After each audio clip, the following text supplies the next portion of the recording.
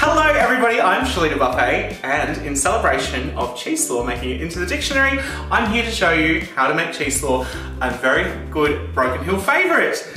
Of course, we're gonna start with our first ingredient, carrot. Grated cheese. Now we've pre-grated this, it's not that store-bought stuff, that is dry and nasty. Pop the cheese in, just give that a bit of a mix through. Now we're going to add here some mayonnaise. No specific amount because we're not sure.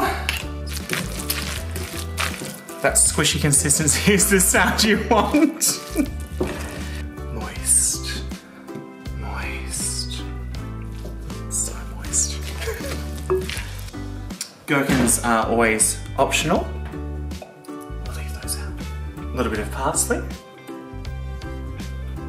Final stir through. Now some people eat this as it is. They put it on toasted sandwiches, focaccias, but my favourite way to serve it is in the bin.